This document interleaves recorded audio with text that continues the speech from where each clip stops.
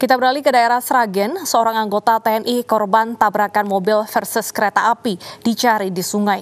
Tim SAR menyusuri sungai sejauh 4 km dari lokasi tabrakan.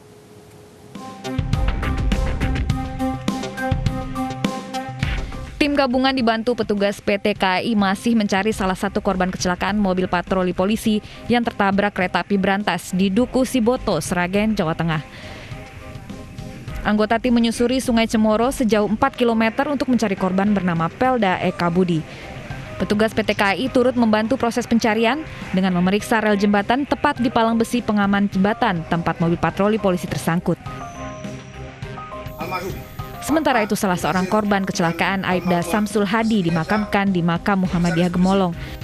Pemakaman digelar secara militer dengan dihadiri sejumlah pelayat dari kerabat hingga tetangga. Aibda Samsul Hadi meninggalkan seorang istri dan empat orang anak. Orangnya pendiam apa humoris? Ya, humoris. Humoris senang guyon itu. Iya. Hmm. Ya, cuman ngomongnya kurang apa ya kurang lancar atau gimana Anu. nah, cuman diam kalau nggak disapa cuma memang dia pendiam Kalau belum kenal diam gitu. Tapi kalau kenal ya humoris suka guyon gitu. iya Sebelumnya mobil patroli polisi yang ditumpangi dua anggota Polri dan seorang anggota TNI terlibat kecelakaan dengan kereta api berantas di pintu perlintasan tanpa palang pintu di Sragen, Jawa Tengah. Dua anggota polisi tewas, sementara seorang anggota TNI belum ditemukan. Dari Sragen, Jawa Tengah, Joko Piroso, iNews melaporkan.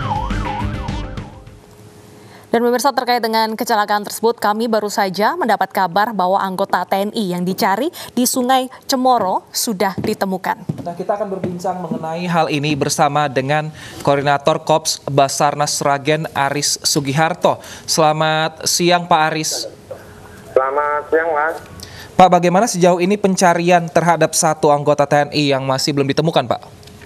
Uh, Alhamdulillah pada pukul 09.30 tadi di Gedung Cemplok kurang lebih 1,3 dari LKP korban dapat diketemukan pada pukul 9.30 dan dapat dievakuasi pada pukul 09.50. Baik, dari titik eh, kecelakaan seberapa jauh eh, anggota TNI ditemukan, Pak, dan bagaimana kondisinya?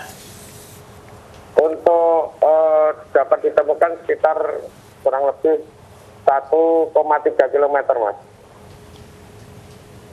Baik, lalu adakah korban lain yang juga eh, terjadi akibat kecelakaan tersebut, Pak?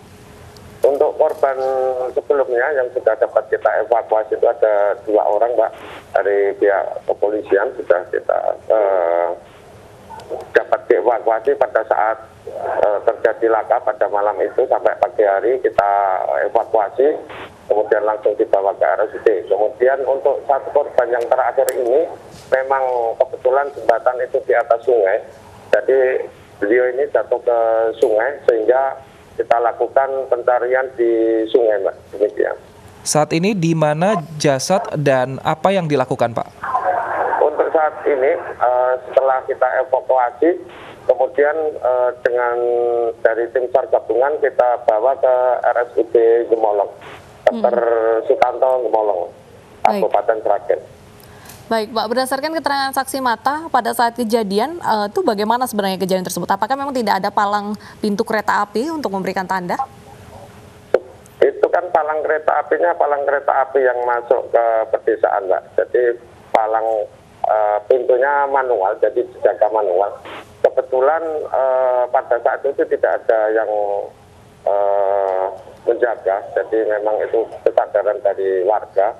Pada saat itu tidak ada, memang di situ juga sering terjadi kecelakaan eh, lalu apa tertabrak kereta, Baik, selain- kali. Baik Pak, selain jenazah, eh, apakah eh, mobil dan juga barang-barang lain yang mendukung untuk proses penyelidikan eh, masih dicari oleh pihak, pihak Basarnas atau sudah disudahi proses pencarian?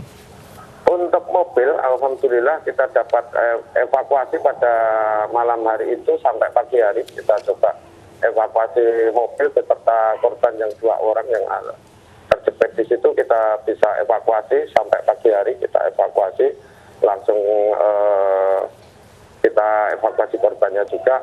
Eh, kemudian kita lanjutkan. Pagi harinya langsung kita lanjutkan proses pencarian kepada korban yang terakhir mas sampai hari ini alhamdulillah. Baik.